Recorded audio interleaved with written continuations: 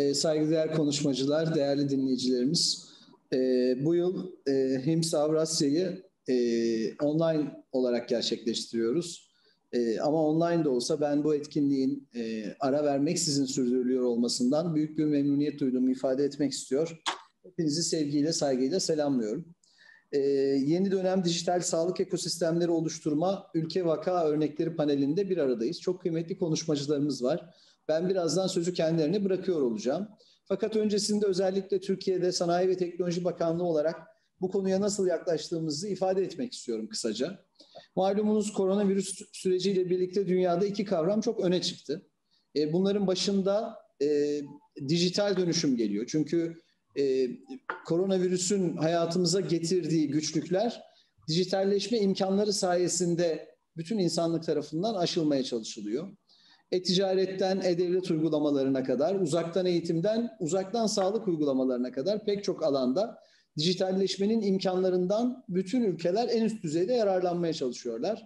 Biz de Türkiye olarak e, altyapımızı en iyi şekilde kullanmaya ve sektörlerimizin bu sürece en üst düzeyde adapte olmasına katkı vermeye çalışıyoruz. Fakat dijital dönüşümle birlikte yine koronavirüs döneminin öne çıkardığı bir başka kavram da öz yeterlilik kavramı oldu.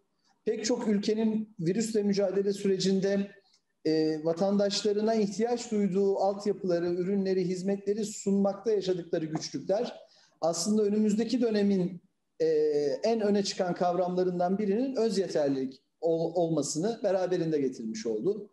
Elbette küreselleşme süreci devam edecek ama muhtemelen hepimizin e, zannediyorum öngörüsü benzerdir. Yeni bir bakış açısıyla önümüzdeki dönemde devam ediyor olacak.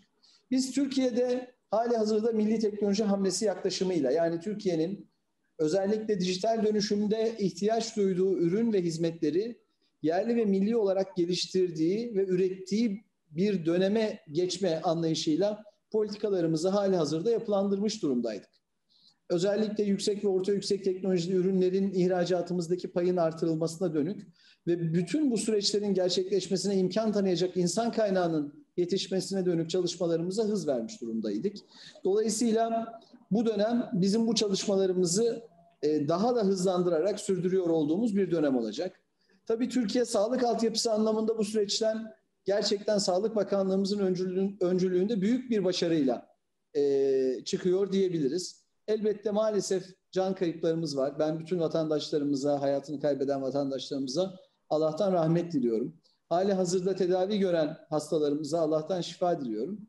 E, fakat dünyanın pek çok ülkesiyle kıyasladığımızda Türkiye bu süreci e, gerçekten büyük bir başarıyla hep beraber bütün paydaşların katkısıyla ve vatandaşlarımızın da duyarlılığıyla oldukça e, başarılı bir şekilde yürütüyor diyebiliriz.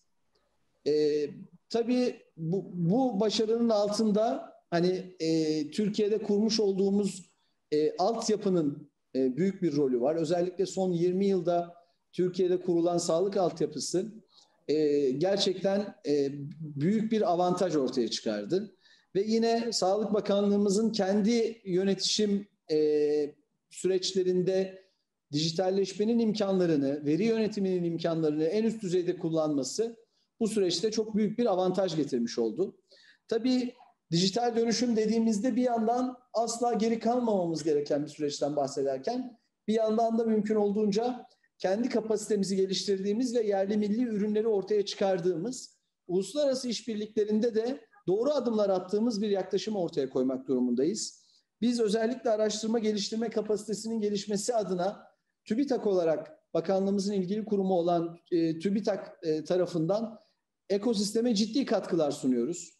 TÜBİTAK son 18 yıllık dönemde sadece dijital sağlık alanında 311 projeye e, 2020 sabit fiyatlarıyla 131 milyon lira ARGE desteği sağladı. Yine TÜBİTAK koordinasyonunda e, yürütülen Avrupa Birliği çerçeve programlarında da 17 projeye yaklaşık 14 milyon avro e, destek sağlanmış oldu. E, Covid döneminde de gerek TÜBİTAK gerek COSGAP özellikle bu mücadelede rol oynayabilecek ürün ve hizmetlerin geliştirilmesine yönelik, yönelik ARGE destekleri sağladılar. Malumunuz bir solunum cihazı e, sorunu ortaya çıktı koronavirüsle birlikte bütün dünyada. Özellikle yoğun bakım solunum cihazlarının pek çok ülkede yetersiz olmasından e, kaynaklı bir e, sorun ortaya çıktı. Biz sürecin hemen başında e, Türkiye'de bir startup'ımızın geliştirmiş olduğu bir ürünü e, ülkenin önde gelen sanayi ve teknoloji şirketleriyle buluşturduk ve onların hızlı bir şekilde bu ürünün seri üretimini gerçekleştirmesini sağladık. Burada Sağlık Bakanlığımıza da gerçekten teşekkür borçluyuz. Çünkü onlar da kamu alım garantisi vererek bu süreci hızlandırdılar. Ve bugüne dek Türkiye yerli yoğun bakım solunum cihazını ki ilk kez neredeyse seri üretimi bu pandemi süreciyle beraber başlamıştı. Onun öncesinde sadece 12 adet üretilmiş bir cihaz idi. E, bugüne dek 15 bine yakın üretmiş ve dünyanın pek çok ülkesine gerek ihracat yoluyla gerek insani yardım yoluyla göndermiş oldu. Bu aslında Türkiye'nin ARGE süreçlerinde e, gelmiş olduğu kapasiteyi de e, hepimize gösterdi diye düşünüyoruz.